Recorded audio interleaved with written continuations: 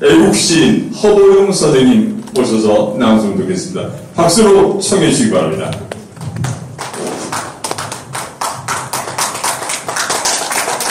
안녕하세요. 애국시인 허보영 인사드립니다. 1945년 8월 15일은 광복절입니다. 1948년 8월 15일은 대한민국 건국절입니다. 그런데 이상하게도 광복절만 지키고 건국절을 지키지 않습니다. 저는 그것이 궁금합니다.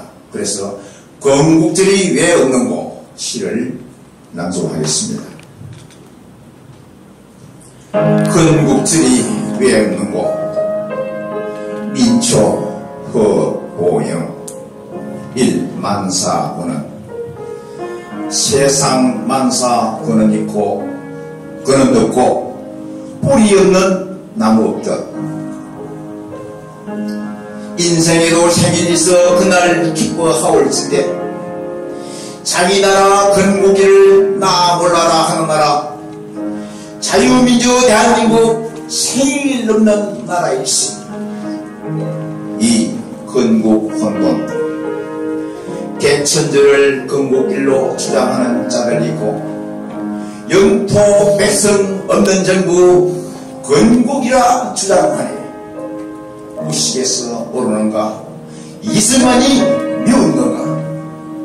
온 세계가 부러워하나 대한민국 생일 없네.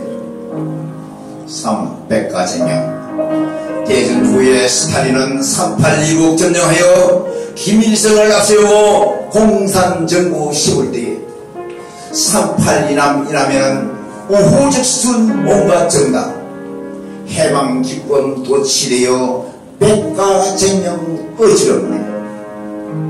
사 대생각자.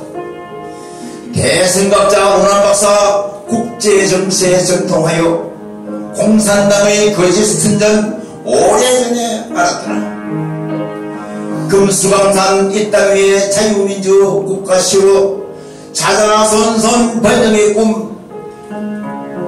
운항 박사 꿈이 동족성장 건국한 지 2년 만에 공산당이 무력남침 동족성장 아비귀환 수백만이 죽었더라.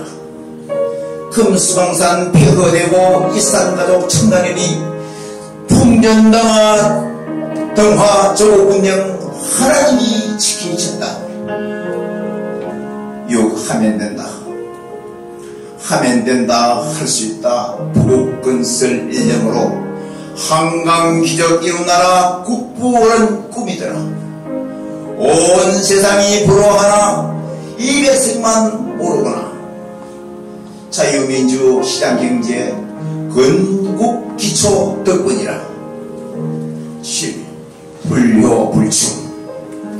공 조국 강복 79년 온 나라가 결승이라. 조국 건설 76년 말하는 자 왜 없는 고 국부 없는 이 백성은 아비 없는 자식이니 불효불충 이제 접고 건국제를 기념하라 감사합니다.